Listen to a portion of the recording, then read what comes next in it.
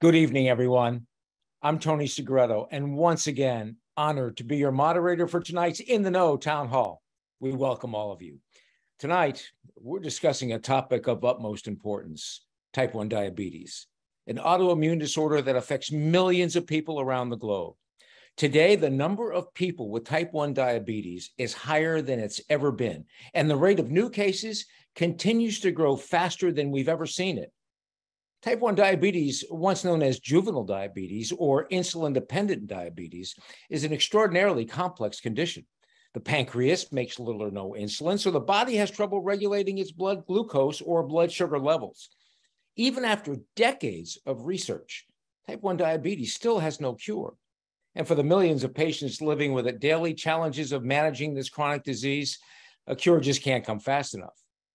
Thankfully, and I mean thankfully, the Diabetes Research Institute, or DRI, at the Miller School of Medicine leads the world in cure focused diabetes research. Its researchers are laser focused on the development of a biological cure for this chronic condition, just as they have pioneered many of the techniques used right now around the world to fight diabetes. They are continually advancing innovations that are bringing new hope to patients. Tonight, we're going to hear from some of the most renowned experts at DRI. They are led by Dr. Matthias von Herrath, an internationally recognized immunologist and the new scientific director at DRI. He's also the Stacy Joy Goodman Endowed Chair in Diabetes Research. He'll be joined by Dr. Ernesto Bernal Mizrachi. He is the Deputy Director of Beta Cell Biology and Signal Transduction at DRI. He's also the chief of the Division of Endocrinology, Diabetes, and Metabolism, and professor of internal medicine at the Miller School.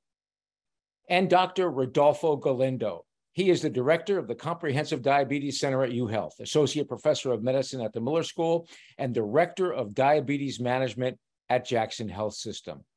As you can see, this is truly a world class group of experts supported by the extraordinary philanthropic efforts of the Diabetes Research Institute Foundation.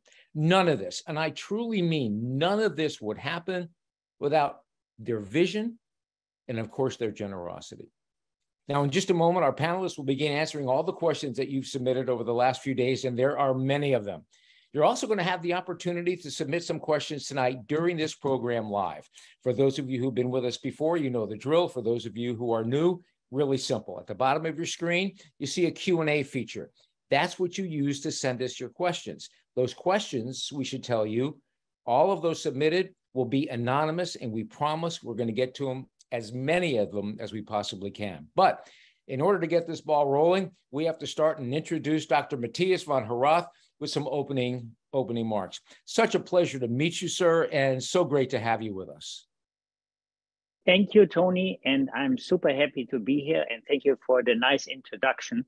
Also, the introduction to type 1 diabetes, indeed, a difficult problem, but with a lot of hope at this point from our side and that we are getting closer to find a solution, prevention, or cure for it.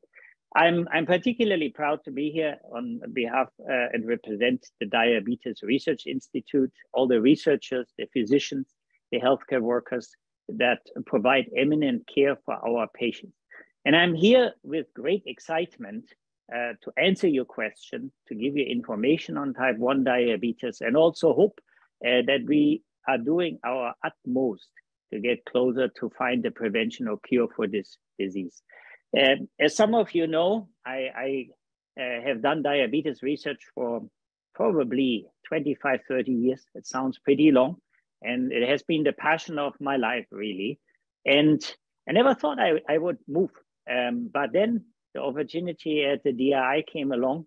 And uh, now that i'm there for for two months it's, it's, it's even better than in my wildest dreams. And it's because not only the, the research is so good there but it also closes the gaps across boundaries to bring important pieces together that are needed for us to find a cure. And we will we will talk a little bit more uh, about this today. And I think we're getting close, as I said before. Um, I think it is also important to mention uh, that the DRI, the Diabetes Research Institute, uh, would not be there without the generous support of the DRIF Uh, it was born, the DIF was born out of patients uh, who wanted to find a cure for these diseases and has grown into one of the most far-reaching and biggest philanthropic organizations. And without them, we really couldn't do it. Uh, having translational research is difficult. Uh, you need to do basic research. You need to bridge gaps in grant funding and so forth. And it's uh, because of that really a fantastic and unique place. So we are super happy to be here. We're going to make this um, a fun interactive hour with lots of questions answered.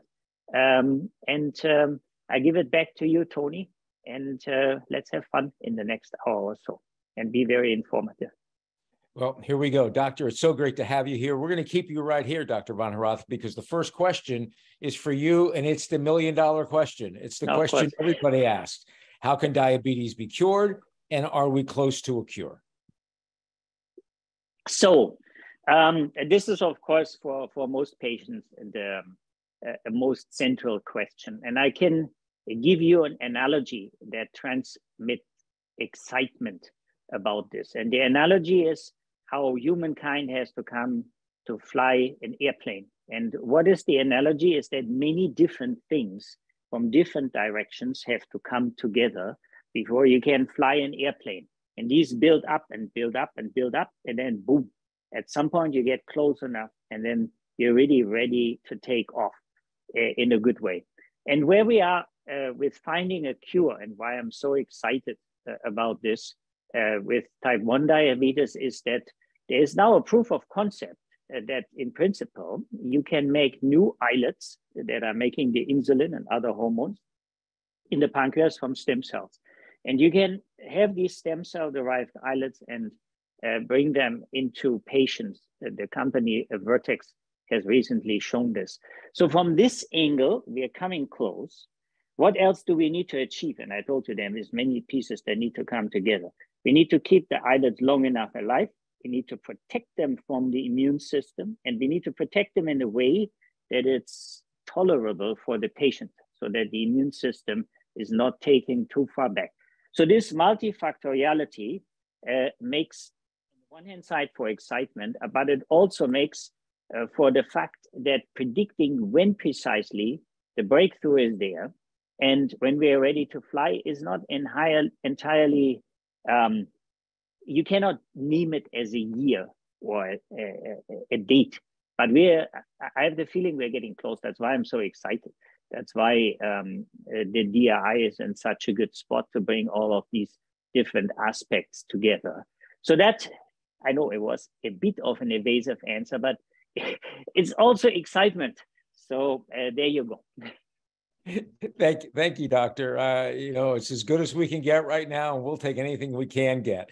Dr. Mizrachi, we welcome you. The next question is for you. What are the different types of diabetes, and could you please define them? Thank you, Tony. I think that this is an excellent opening question. Uh, the American Diabetes Association uh, divides diabetes in four types. And, and I guess you can ask yourself why we need to do that. And I think it's important because that also will determine what kind of therapy are we going to use for the patients. So in type 1 diabetes, as, as Matthias already mentioned, it is, there is an autoimmune destruction of the insulin producing cells. And how can I just explain this more carefully is that your own immune system uh, attack your insulin producing cells and destroys them traditionally, this was uh, uh, initially thought that was uh, juvenile uh, diabetes, and it was uh, diagnosed in, in children and in young kids. But we now know that you know adults and older people can develop type 1 diabetes. And type 2 diabetes, which the main hallmark of type uh, to diabetes is insulin resistance. And what happened here is that your body becomes more resistant to your own insulin and those insulin producing cells have to work harder and harder, but they already have a defect that you are born with, and they cannot really overcome that insulin resistance. So uh, with that, then is when type 2 diabetes develops.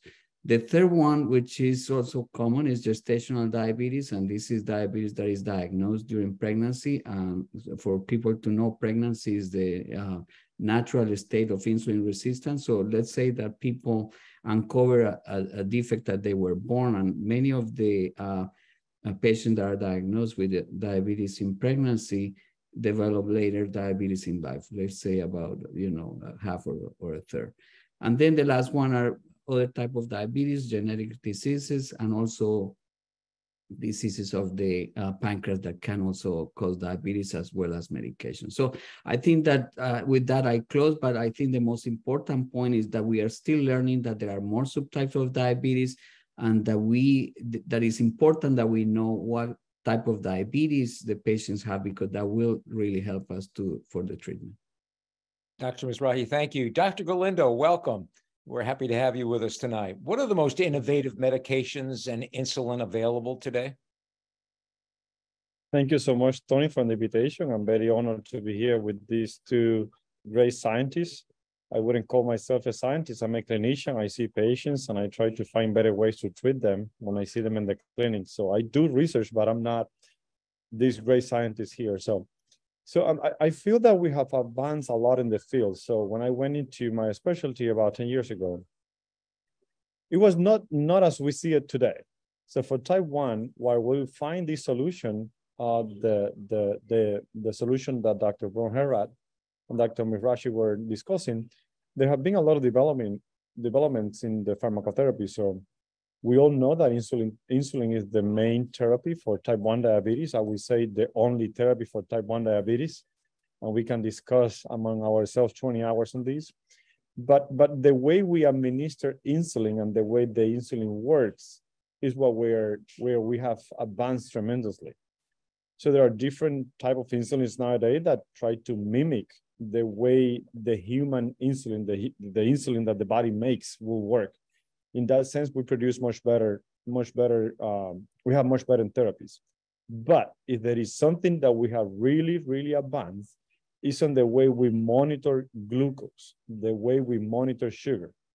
And if you read about these, about 100 years ago, we used to measure uh, sugar in the urine by colors. You know, it was a nice experiment that it was developed in England, and it was the only way for 50 years. But for the last 50 years, we have advanced and advanced and nowadays, is, is, is standard of care. Standard of care is what is considered the best therapy that all physicians in the country should be doing is a continuous glucose monitoring. What is that? It's a little device. It's minimally invasive because it has a small plastic cannula that is insert in the subcutaneous tissue, the superficial tissues of the arm or the belly, and is monitoring the glucose every five minutes. And that is terrific for patients because they can see where the sugars or glucose go goes after different things in life, after eating, after exercising, after being stressed, after drinking coffee with or without sugar, after drinking, um, uh, I don't know, a Splenda May desserts versus a regular sugar dessert. So, so it really makes a big difference to people but also because we went away from the finger sticks. So for years, our patients have been pricking their fingers to obtain a blood, a drop of blood to put it in the glucose meter. Is we're using the same technique, but in a sensor that does not need that finger stick all the time. And, and what I really see a tremendous advantage is that those glucoses that we measure every five minutes are seen in a smart cell phone or device by the patient or their family members or even physicians 24 7. So that actually provides a 24 hours comprehensive glucose assessment uh, that we had not seen before. And then the latest that we have seen is integrating this fascinating CGM continuous glucose monitoring with different way of delivering insulin, whether it's by injections or not, or whether it's by pumps or not, or whether the pump can communicate with the sensor and the sensor with the pump through a smart system that is on the cloud and it make adjustment on the amount of insulin. That is where really we have advanced tremendously. So, so, so this is not anymore pricking fingers and shooting insulin as it was 50 years ago. I'm very excited about it. Thank you, doctor. That's that's amazing how far we've come and, and really in such a short period of time. Dr. Herrath, we just had this sent in. We thought it was important we get it to you now. What causes the late onset of type 1 diabetes? And could it have been missed when I was younger? So there's different views uh, on whether diabetes, especially type 1, is a continuous spectrum that just varies in intensity or whether there are different forms of the disease. My personal experience and uh, opinion is after studying uh, the human pathology of this disease for probably 15 years, thanks to the National Pancreatic Organ Donor Consortium or NPOD, that we are dealing with a continuum. So what happens in young kids is in essence a very similar or the same process as if you get type 1 diabetes at later age. It's just in intensity much milder. And it shouldn't surprise us to see this type of spectrum in an autoimmune disease because you have aggressive and mild forms of MS, multiple sclerosis. You have the same in arthritis. So I, I think uh, that's the spectrum we see. Where it becomes a little bit more problematic and where I think all of us have to be more vigilant, there was a divisiveness introduced into the field early on that young people who get diabetes have type 1 and old people who have diabetes have type 2 diabetes that's more related to being overweight or insulin resistant. I don't think we, we can look at it this way anymore. We should look at it that there's an immune reaction to islets in type 1 diabetes that is stronger in young people and then mild and older, but it's still type 1 diabetes. Then, in addition to this, also in type 1 diabetes, you can have problems with obesity and you can also accelerate the pressure on your beta cells uh, by being obese or by becoming insulin resistant. That's also when you, for example, have infections or like uh, uh, Bernal was saying do, during pregnancy. So that's, uh, that's how I look at it. And it gives us more possibilities to treat the disease. First of all, if it's the same process, we can attune similar medicine. Second of all, if we can do something about obesity and uh, we have uh, with Rodolfo and Bernal much better experts here on the panel for that. We can also help in type 1 beta cells because it turns out that a, a hard-working, sweaty beta cell, so to speak, that's trying to put up all its last insulin also sticks out like a red beacon to the immune system in a way, and it's easier to recognize. So we can work at the problem from different angles. But the short answer is uh, late onset diabetes in adults uh, might have other features because you might be overweight, have other features or insulin resistant, but the reaction in the islets from what we have studied seems very similar, immune uh, logically speaking. Dr. Galindo, I saw you shaking your head. Would you like to, to add on to that? now we get into it. Well, no, so this is great because we're getting more comfortable. And then at some point, I'm going to apologize if I call Matthias or Ernesto, we work together every day, so it's hard for me to call them by the last name. So apologies if that happened. So we doctors don't like to make diseases complex. Diseases are complex itself. We do not like to have type 1 diabetes mixed with type 2 or type 2 or something like that. We don't like that, but that's how nature make things. So type 1 diabetes is no longer only diagnosed in young kids we also have older adults, but then we also have young, young people being diagnosed with type 2 diabetes because of the so-called excess adiposity, a term that I prefer. So, so, so when we accumulate excess adipose tissue, fat cells, and we put them in the wrong places and they work wrong, we get an, another disease, right? So like type 2 diabetes and insulin resistance. Nowadays, many of our patients with type 1 diabetes will also have a component of this excess adiposity and insulin resistant. And that's when the whole mix. And then Ernesto, apologize, Dr. Mizrachi, Ernesto is an expert in these correlationships, so he, he probably can give a better explanation. No, I think this is a, is a great uh, analogy. And, and the, the key issue for people is to know that uh, at least in my clinic, I see that frequently is that if you see an older individual who is lean that is requiring insulin, you always need to think to test for type 1 diabetes. And, and that's one of the uh, one of the phenotype or the how patients can present in, in later autoimmune onset diabetes. So people who are lean that are requiring insulin, it's important to test for type 1 diabetes. Dr. Mizrachi, thank you. And we're going to keep you here because this was just sent in, and we sort of touched on this with, with, with, you earlier. And the question goes like this How does type 1 diabetes affect a woman during pregnancy, and what are the biggest risks?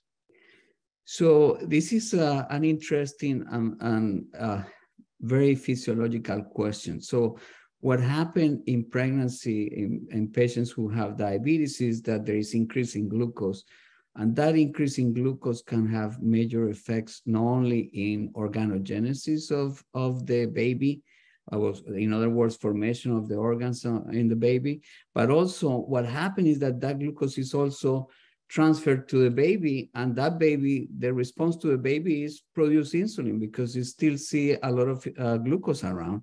And that increase in insulin what it does as a growth factor that insulin can be induces you know, fat deposition, and that's why it's frequently that uh, the babies from mothers who have diabetes are overweight when they're born, and there's also associated with complications during uh, parturition.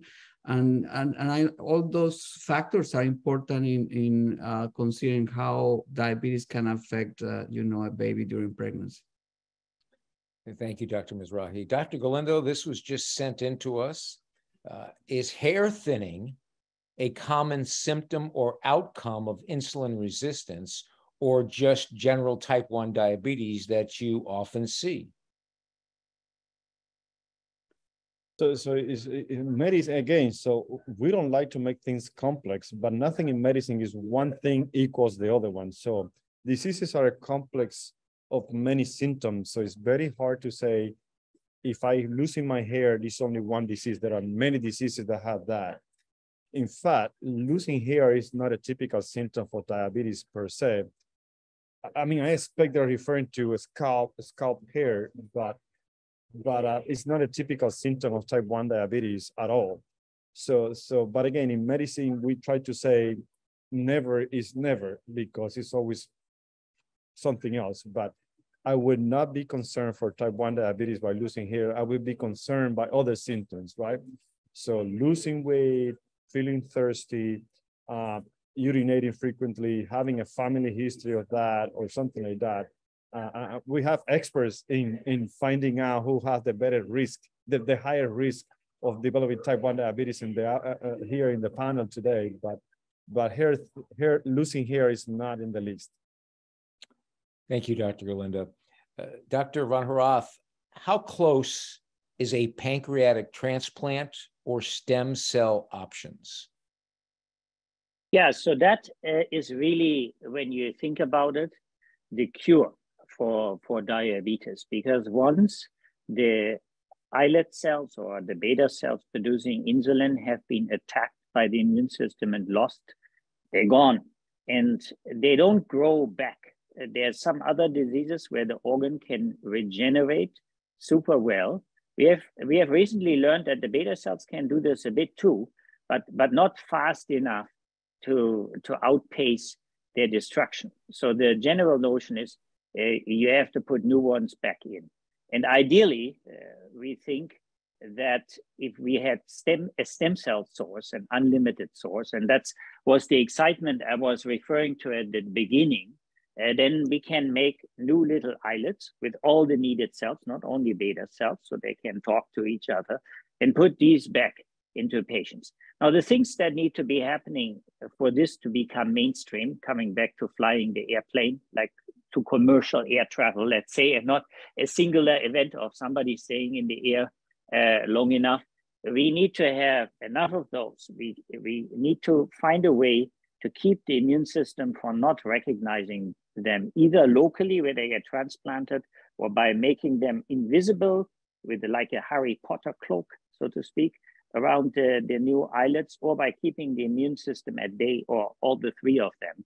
We need to give them enough nutrients. We need to find that's the right site to put them. Usually in the pancreas, normally where they sit, they have a lot of vessels. So they can get lots of nutrients and then the insulin can get out immediately because they're like mini factories, they're busy cells. So they need a good blood supply. So once we solve all these, um, I think we will have stem cell replacement as a cure for, for diabetes. And I said in the beginning that we can see now the single components that we need with much with much more clarity than let's say 10 or 20 years ago. So so that's where we stand. It's an exciting time. Yeah, sounds. So As you exciting. will note, I, I dodged the question again to put a precise year on this. but thank you, Doctor. Uh, Dr. Mizrachi, why is glucose control so important in diabetes? So this is actually one of the uh, major uh, topics in diabetes, and I guess uh, Dr. Galindo Rolf already is, you know, spent some time explaining why the delivery of insulin has made such a big difference in, in diabetes. So in terms of the how glucose is important in the short term, we already uh, mentioned that uh, people can get increasing urination, thirsty, weight loss, and some other uh, uh, symptoms. So, so that's in the short term. In the long term, high glucose can damage organs, especially the eyes, the kidney, and the nerves, and the vascular system. And that's what we call the eye retinopathy, in the kidney nephropathy, in the in the nerves neuropathy, and then cardiovascular di uh, uh, diseases are, uh, you know, like having coronary artery disease or heart attacks, which are frequent. The important point about this is that by controlling glucose, we can prevent these complications. And that's why having a, a good control with different um, pharmacological agents is so critical to prevent the complications, which is an increased cause of mortality in, in diabetes. And, and if, if, if I may, may add, and, and that's precisely the reason that we are trying to work on a prevention or cure. Because as you can Im imagine, Tony, uh, tr trying to control your glucose after every meal and counting car carbohydrates and staying on top of this, this this this is um, quite, let's say, an exercise for all the patients. Every patient will tell you they want a vacation from this disease, and we are really working very very passionately to initially at least give a temporary vacation or delay of the disease, like it has recently been achieved by the, the anti-CD3 from Provention Bio, and then hopefully eventually a permanent vacation from the disease. Um, and the need to, to stay on top of this every meal and every day and all the time, avoiding that you go too high, avoiding that you go too low with the sugar and so forth. How great would that be? Uh, I'm going to put this out to the panel because we just had this uh, sent in. What are the chances the child of a type 1 diabetes woman also will have type 1 diabetes? And is there anything that can be done to delay the onset to the child? Yeah, I can start on this, and and uh, others will have opinions on that. Um, so, genetically transferred diabetes plays a role, but most most of the diabetes we see nowadays is actually not uh, diabetes that is transmitted through genes in their family, but they are what you call susceptibility genes, several of them that influence the immune system and other factors that render you more likely to get diabetes. And there are many families where uh, the genes are in the parents and then get transmitted to the kids. Now you can measure the risk getting diabetes by measuring antibodies to the beta cells. This is something we can do. And these antibodies define the risk pretty well, the more you have.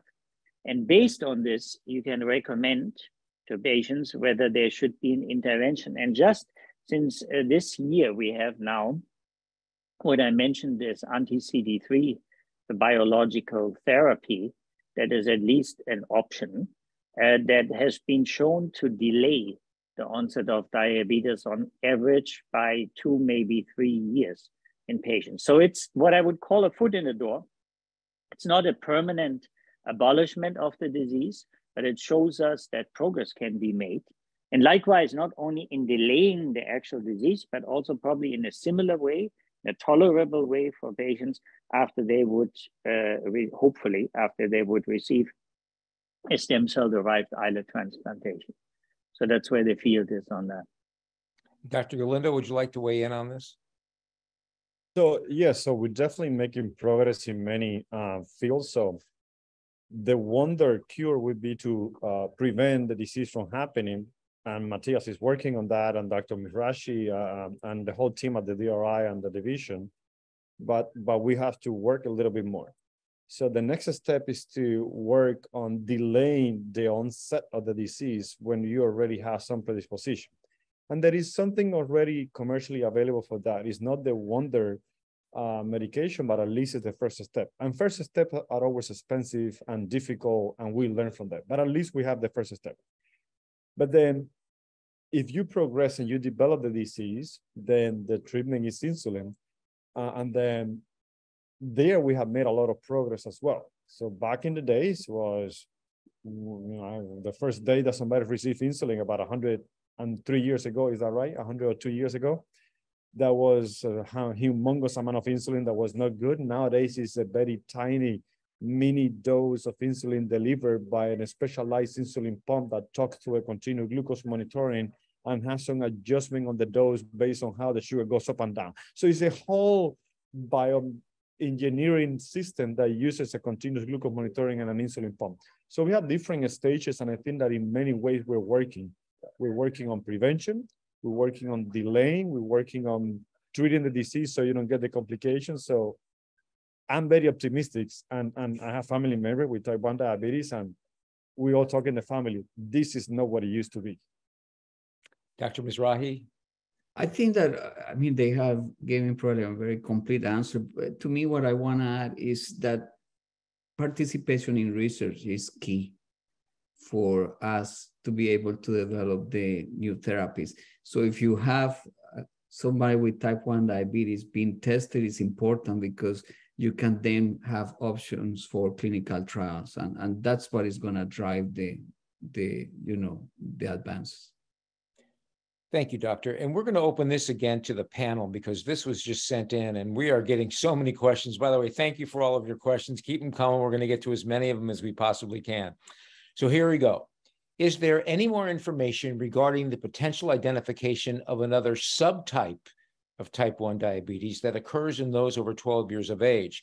Some speculation that this might be easier to reverse or cure. Who would like to start this off? Dr. Matthias, we'll start you. We'll, we'll go with you again. I, I have strong opinions about this.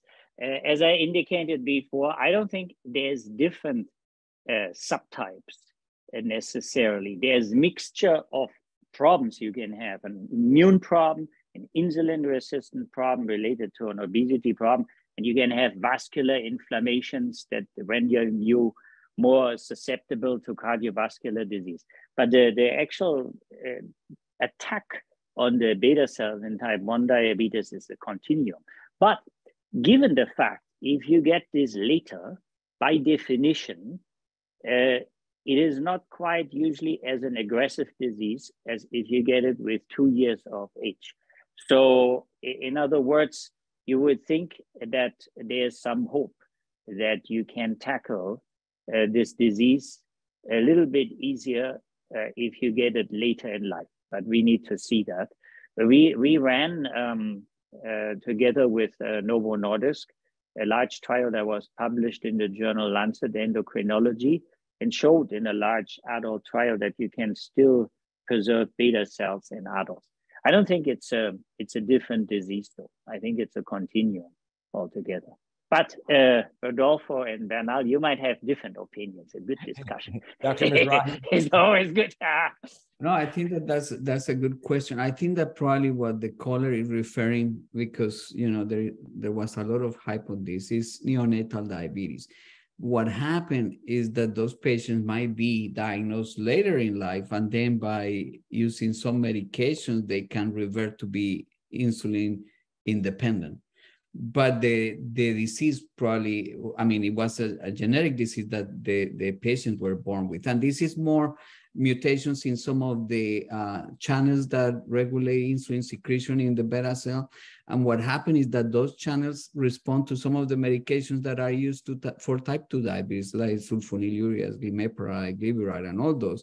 And what happened is that after that discovery was made, again, by research, uh, some of these patients, by treated with pills, they were completely, you know, cured from what initially was called type 1 diabetes. So that might be what the caller is referring mm. to. So. Dr. Galindo. So, so, Tony, yeah, so I, I love the, the question because, again, it's not that we want to make things complex. This is the nature of medicine. And that's why it's good to see an expert in diabetes or what we call a diabetologist so it's not type 1 in young kids, it's, it's, it's a different type of the diabetes in young kids. It's not type 2 in the elderly. There are different type of diseases in the elderly. So that's why it's all, always good to see an expert that think behind and outside the box. Is this just pure type 1? Is this a congenital diabetes? This is a combination of type 1 who has excess adiposity and needs something else. So, so experts think outside the box and go beyond this mere classification on one, two, three others. So, so, so I'm a member of the guidelines and we need to come up with these one, two, and three lines. But reality is that when we discuss this in the committees, patients are never a guideline patient. You know, patients are complex and they have different presentations. So it's always good to see an expert that put the puzzle together and make the whole medicine work. Medicine is an is a, is, a, is the art of the science it's an art that we physicians put together, right?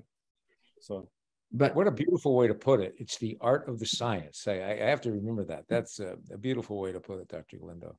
I guess if, if I want to add a, a, little bit more to what yes, uh, please. Rodolfo mentioned.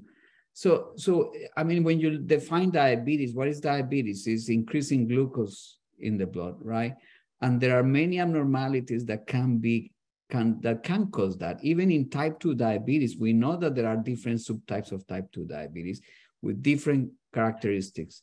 And the next step is what is going to happen is that we're going to have personalized medicine. But to get there, we need to define what are the different type of diabetes so we can have a personalized medicine approach for the, the management of diabetes. So Great. Dr. Mizrachi, we're going to keep you here. Uh, are any, and anyone can weigh in on this one too, because this was just sent in, but are any of the cures thought to not require an immunosuppressant following? For type one, I, I think, you know, if you, if you, we go back to what we have been discussing for the last half an hour, the, there are two components on type 1 diabetes. One is the immune system attacking the uh, insulin producing cells, and the other one is the insulin producing cells defending or being more resistant to that. So if you treat only the, uh, the beta cells, you still will have the autoimmune destruction of the beta cells. So you, I would say it's maybe an incomplete uh, strategy. I think that the best strategy is to be able to act on the two components of type type 1 diabetes, one, the immune system, and the other one is the beta cell or the insulin producing cells. And that's why the new generation of uh, trials in type 1 diabetes use multiple medications, some that will act on the immune system and some that will act on the uh, insulin producing cell. I, I, fully agree with this, Bernard. And um, I think we can even, and it's an intensive area we are working on at the, at at the DRI, improve immune therapies in the sense that the burden, uh, that was, I think, the way, way I understood the question, that the burden from immunosuppressing becomes less by giving an induction therapy that's short in dura duration and sort of resets some things. And then you only need a maintenance therapy. And the maintenance therapy can be something that takes care of the beta cell not being so visible to the immune system, or it can even be Uh, and many groups are working on this, something that re-educates the immune system specifically to make, so to speak, a peacekeeper troops that recognize beta cells, and then when they recognize them, keep peace locally in the pancreas and in, in its environment, sort of your own, they're called regulatory cells, but your own peacekeeper troops that can be educated without impacting your overall immune reactivity systemically. So, So there's a lot of a lot of uh, progress in that, and the therapies will rather than being a blunt hammer become much more specific and much better tolerable. That's what I think is a big part of that sweet spot, sweet spot finding to, to really make things take off. Yeah, it's incredible the progress that, that that's been made in this area. And uh, you know, Dr. Galindo, you know, I'm kind of we got this question sent in, but it's kind of based off of what uh, Dr. Von Herrath said earlier, how people want to take a vacation uh, from this disease. So the question goes like this: Do you provide therapies for the resulting depression that comes from long-term diabetes and the constant battle to manage the condition. And Dr. Mizrachi, we'll get to get to you in a second because obviously there are a lot of people want to weigh in on this. But Dr. Galindo, why don't you kick this off? Yes. so so again, the main focus of the treatment of type 1 diabetes is to try to correct that excess sugar in the blood into what is considered normal level, right? But that's not the only option. That's not the only choice. That's not the only treatment. This is a complex multifactorial with many phases disease that you need to treat in a comprehensive manner. So uh, it's not just a diabetes physician, it's, it's also a diabetes educator, it's also a psychotherapist, it's also uh, uh, um, different specialist. So yeah, so we do provide those services um, is hard when, when we're thinking about children, right? But but um, locally, our children are always happy, and, and we just need to make an environment that is better for them. But as disease pro progresses, I understand the burden. We have patients in the DRI that have been our patient for 30 and 40 years. And yes, it's a burdensome disease, and we do take that in consideration and we provide that service. Um, the person that that sent that question have gone through through this in their family or something and and understands what we deal with sometimes we try to do the so-called medicine oh how are you doing how are your medications and we need to stop and do the art of the medical science and learn what is happening that is not just prescribing medication so sometimes if we don't pay attention to your a1c or your injections and we stop and switch and try to get something else is because we're sensing that maybe the need today is not your A1C. The need today is to understand how you're feeling. And, and that's what we do in the in the center, you know. Thank you, Dr. Galindo. Dr. Mizrachi, I know you wanted to uh, kind of add to this. No, I think that I, I really feel for that question because we see a lot of patients and, and like that, uh, we can not underestimate the impact that mental health has on diabetes and that diabetes has on mental health. So uh, it's, it's a challenge that we faced every day. And the, the irony of that is that uh, mental health uh, management has become such a difficult issue in, you know, these days where finding really therapists is very difficult and not only that, finding therapies that are covered by insurance is even more difficult. So, so I think that this is this is an essential component of uh, diabetes care that is sometimes underestimated. Yeah. Thank you, Doctor. Uh, Dr. Mizrachi, uh, this was just sent in, excuse me, Dr. Go, uh, Dr. Matthias, this was just sent in. Is there a specific test to confirm the diagnosis of type 1 diabetes for adults and children? So uh, it doesn't it doesn't vary between adults and children, but we we mentioned before that we can measure these antibodies, and antibodies are sort of the signature of the immune system's attack on the beta cells, and that can be reliably measured at this point, and is used to diagnose type one diabetes. And depending on how many of different of these antibodies you have, you can also see whether your risk is higher or lower. This correlates pretty well. And, um, and that's, that's actually very important for us to get closer to having a prevention for type 1 diabetes because uh, we need to find everybody who, who is at risk to develop the disease. The, the global golden vision is, and we've been working on that, that it would at some point be uh, included as a routine screening at certain times during childhood. And then you, of course, you need to build the infrastructure. If you have positive results, you have to uh, prepare the, the patient for uh, what it means for the journey. And uh, we are just starting, as we discussed before, to and also being able to offer certain treatments that can delay the onset of clinical diagnosis of diabetes. Thank you, doctor. Uh, and this goes out to the panel. Another one sent in. Any insight on progress and availability of a bar, bihormonal, bihormonal insulin pumps before a cure is found? Dr. Mizrachi, you're why don't you start us? Yes, it, this, this is going to be Van announcing. no, I think that Dr. Galindo probably has a lot. I mean, I'm going to start sure. saying that, yeah, the dual uh, pumps are, you know, uh, a reality. I think that the the fact of using two hormones, which is one is glucagon, the other one is insulin, so the the use of these two hormones balance the, the glucose. So insulin drops the glucose, glucagon increases the glucose. So the, the pump what it does is, is try to balance the infusion of the two hormones to maintain glucose in the steady state level. So I think that there are, I mean, there are a lot of progress on this type of therapy, and I, I probably would let uh, Rodolfo uh, give more information because he's, you know, he's an so expert in technology. So yeah, the dual the dual hormonal system is fascinating from a scientific standpoint. And I remember the first time I met one of the creators, uh, Ed Damiano. He's not a physician; he's a mm, engineering from um, MIT who committed to develop this because his son has type one diabetes. So, if you ever see him in a meeting or anything, you will not see a person with a suit. You will see somebody with a T-shirt because he's very down to earth, and he's committed to this along with the Harvard diabetologists. So uh, the first time I hear about this, I said, this is a genius, a, you know, amazing idea. But this been, been going on for about 10 years or more, right?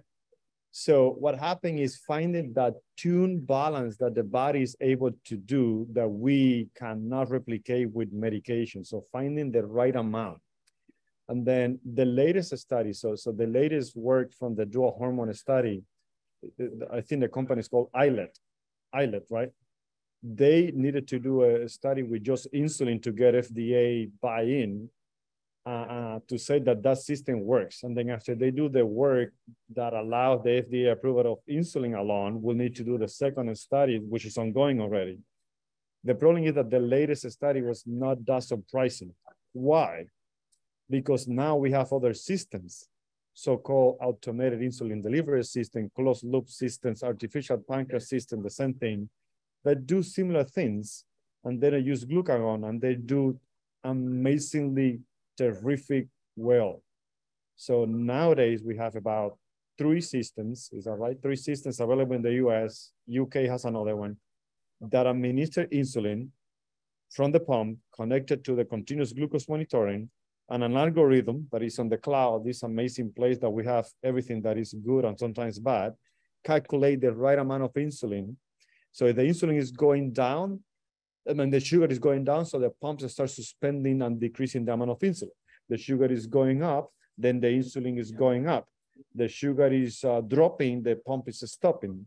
So, so we have these amazing systems nowadays that many people wonder if the glucagon is needed. I do believe that is yes, it's needed, but the work we, we need to still working on it. I think that is scientifically speaking amazing. It's replicating the true pancreas, but the work is still there. Well, thank you. I tell you what, I think we'd all like to see what that cloud looks like, wouldn't we? Uh, yeah. uh, Dr. Matthias, uh, this was just sent in as well, and I hate to repeat myself, but they're just keep coming in and coming in. Uh, most most clinical trials are for adults. What are the options for clinical trials for children under the age of 18, Dr. Matthias? So we we have to, uh, of course, do this in a stepwise fashion, especially if we modulate the immune system. And it, re- it really also relates to, from a regulatory perspective, how much you do to the immune system and the safety studies that are needed based on this. And um, I think it is wise to to test many things wherever possible. It's not possible for all the drugs, but wherever possible, first in adults. And then when they are super safe, move them down in a stepwise fashion to, to younger children. But there are several approaches that are now moving into children and you you can always contact us and uh, we can have a discussion about that it's an exciting time the approaches that uh, will go in, in, into younger children they will uh, often lesser modulate the immune system but they will uh, try to educate these peacekeeper cells for example with antigenic immune therapies and so forth but uh, i think the message to to have and to leave is that of course there will be therapies that are not only for adults, they will also be for children. Uh, but because of safety, uh, you can say unfortunately, but it's really the way it should be. It's not going to be the one and two year olds. We're going to treat first to try out new drugs. That's that's not how it can be, right? right? So, so I want to say something also on this, uh, Tony. Um, uh, I checked the participants and we have a couple of our colleagues from pediatric endocrinology at the University of Miami. So in fact, Dr. Janine Sanchez is one of the participants who is the director of the Division of Pediatric Endocrinologists. And why I call her now is because we have a very, really good relationship. So we do studies, including children. Uh, as scientists, we would like to have anybody, but of course, there are some preventions, and there is an uh, IRB, uh, uh, institutional review system that check how much we can do, right? So they're protecting our participants in research. But we have a really good relationship with the pediatric department, and uh, they, they, they, they send patients to our studies. We, we talk to them. So, so uh, if, if any of your children or your family uh, members are willing to participate or looking for a study, so whether reaching out to us or whether reaching out to the pediatric endocrinology. So we are really good colleagues and um, we cannot do it without them. And, uh, and we are really thankful for the partnership and collaboration. So uh, the question is very appropriate. And I want to uh, appreciate the participation of the pediatric endocrinologists also in this uh, meeting. Thank you. Thank you, Dr. Galindo. Thank you for letting us know that. Uh, this was sent in, and I hope I'm pronouncing this right. I am on Wegovy for diabetes type 2, chronic weight, have had great results the past year, but the last six weeks, the medicine stopped working and my hunger has increased significantly. What suggestions do you have? Who would like to weigh in on this first? So I can make a, a quick comment because we're we're moving away a little bit from type one. So so Semaglutide is a medication that was developed years ago. Uh, I would say about, I've been using semaglutide for about seven years ago. The first name that was given to this uh, wonder medication was Ozempic. And it was when it was approved for type 2 diabetes. So it's the disease that is related to insulin resistant in persons who have excess adiposity. And then serendipity, these things that we do in life and we don't know what we do, we'll learn that it was really good for making people lose weight. So it controls appetite in a terrific way that we have not seen this in years. And then people lose weight and they also control the diabetes. So then when we learn this, we move on to the next step was testing this medication for weight loss in people with or without diabetes. And then the name of the same medication, but at a different dose was Wegovy. And this is what we have seen over the last, I would say, six to 12 months on the news because it made it to Hollywood. So, so Hollywood people now want to lose weight, whether they need it or not is a different discussion. And then I think that these medications are really good and they are changing the way we treat type 2 diabetes. They're actually changing the way we think type 2 diabetes is going to be in the future. We are not talking about uh, remission of type 2 type 2 diabetes because these medications do a really good work. The best way and the best advice for this good colleague who asked the question is to reach out to our center. We'll try to get you in, try to see you and give you specific advices. And then this is not a one month treatment or disease approach. This is a long-term approach to controlling excess adiposity and controlling diabetes.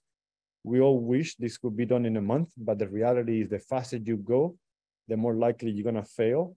So the more progressive and steady you get there, you're more likely gonna make it. So don't rush. More medication is not always the answer. And I think that he's losing some weight and making some progress. Congratulations, you're one of those patients that are making it. So and thank you for doing the effort too. So Thank you, Dr. Galindo. Dr. Mizrachi, yes. No, I just wanted to add a few things. Uh, number one is that I think the majority of the medications that are used for obesity work for some time. And then with time, people tend to regain the weight. That includes even bariatric surgery in some somewhat.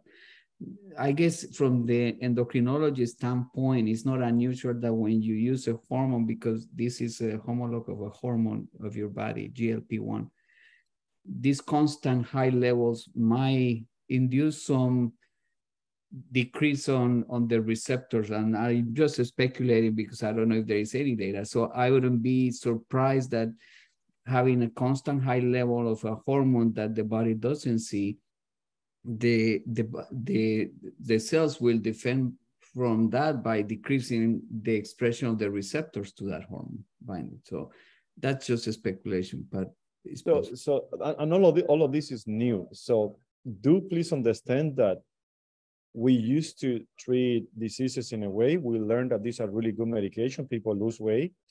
Uh, the studies were done to get it approved, and now we're using it in clinical settings. So we're also learning with you.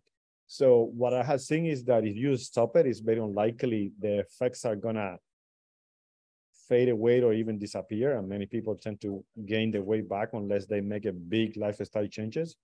And we all had this speculation that this long-term treatment may have an effect later on that you will need it no matter what. So, so I also have a similar impression from many of my patients. My advice is to keep doing it. Yeah. don't, don't let the, don't let the disease win the battle. All right. This is not a one thing to get it done tomorrow. Yeah, great way to put it. Don't let the disease win the battle. Uh, Dr. Matthias, would you like to weigh in on this? Uh, you're the only one we haven't heard from yet. No, I shouldn't weigh in on this. I have a conflict of interest when it comes to the specific drug, so I won't weigh on in on that. Tony, sorry.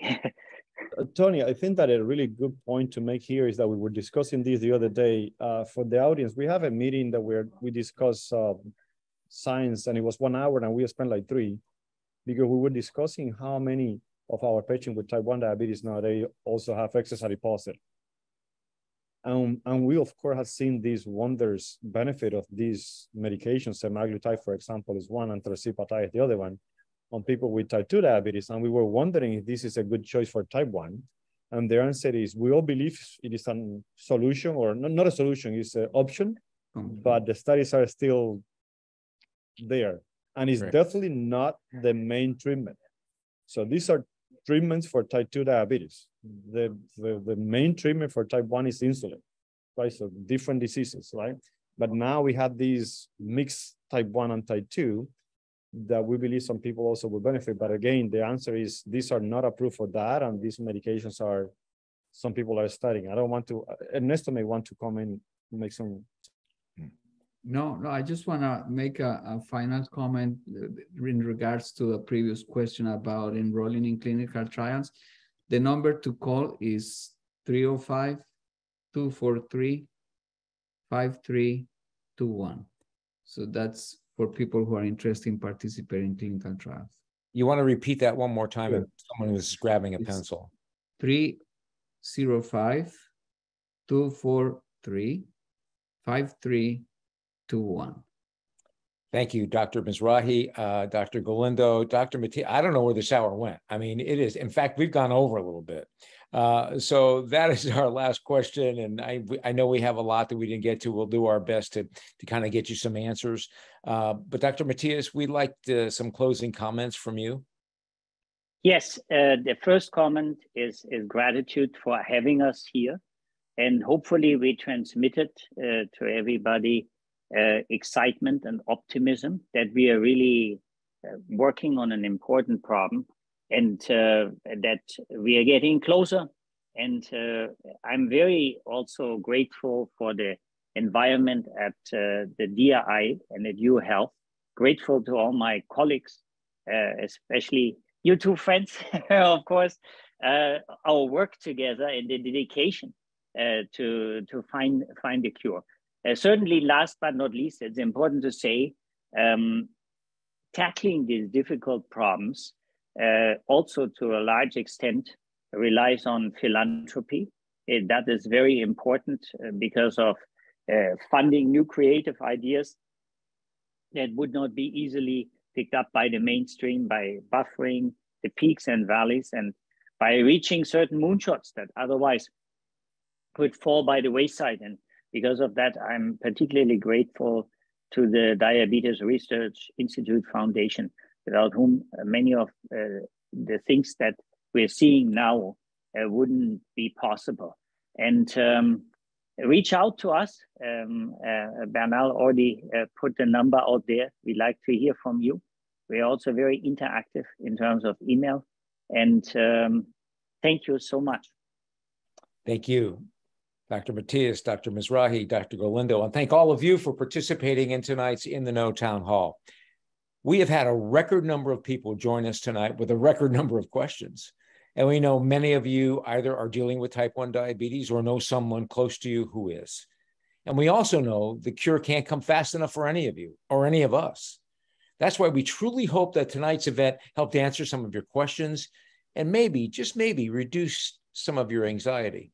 Our doctors, as you heard, are passionate and working nonstop to find the cure that we're all waiting for. And with their boundless energy that I'm sure we all felt tonight, you should all realize how blessed we truly are to have them leading this battle.